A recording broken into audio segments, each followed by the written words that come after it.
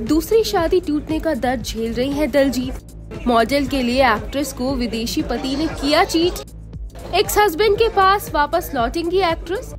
तो निखिल से अलग होने के बाद शालीन संग करेंगी पैचअप ये सारे सवाल हम नहीं, बल्कि सोशल मीडिया पर वो यूज़र्स कर रहे हैं, जिन्होंने हाल ही में एक्ट्रेस दलजीत कौर का एक वायरल पोस्ट देखा है, जिसमें वो अपने एक्स हस्बैंड शालीन भनोट को लेकर बात करती हुई नज़र आई है।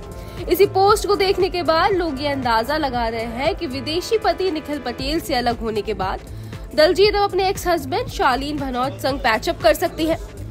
दरअसल इन दिनों दलजीत काफ़ी बुरे वक्त से गुजर रहे हैं। बीते साल जितनी धूमधाम से एक्ट्रेस ने एनआरआई बिजनेसमैन निखिल पटेल संग शादी की थी तो उतनी ही जल्दी उनका ये रिश्ता टूट भी गया था।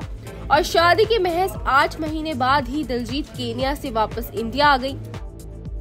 वहीं निखिल अपनी गर्लफ्रेंड संग खूब अच्छा टाइम स्पेंड कर रहे हैं। तो इधर दलजीत कौर लगातार हर मुश्किल का सामना खुद ही कर रहे हैं। बेटे जेडन को संभालने की ज़िम्मेदारी भी उन्हीं के कंधों पर आई हुई है। तो इसी बीच एक फ़ैन ने उन्हें सलाह दे दी कि वो अपने एक्स हस्बैंड शालीन भनौत संग पैचअप कर ले और उनके पास वापस चली जाए। इस फ़ैन का कहना है कि इस बुरे वक्त में उन्हें शालीन भनौत से मदद मांगनी चाहिए। दलजीत कौर के एक पोस्ट पर उनके फ़ैन ने कमेंट करते हुए लिखा शालीन से बात करके उनसे पैचअप कर लो। तो इस फ़ैन के सुझाव पर दिलजीत भी अपना जवाब देने में पीछे नहीं रही। दिलजीत ने फ़ैन को रिप्लाई देते हुए लिखा, उसने ना तो मैसेज किया और ना ही कभी मिलने आया।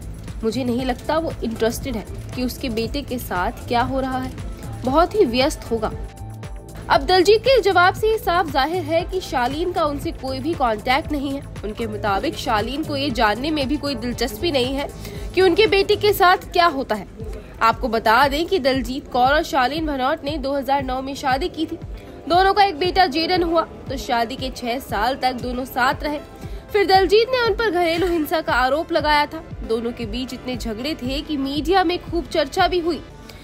वहीं दलजीत ने पिछले साल 2023 में एनआरआई बिजनेसमैन निखिल पटेल से शादी की थी। निखिल पटेल पहले से तलाकशुदा थे और उनकी दो बेटियाँ भी हैं। शादी के बाद दलजीत भी बेटे के साथ केनिया चली गई थी।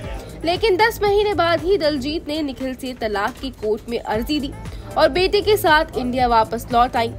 इंडिया आने के बाद से दलजीत ने निखिल पर कई गंभीर आरोप भी लगाए।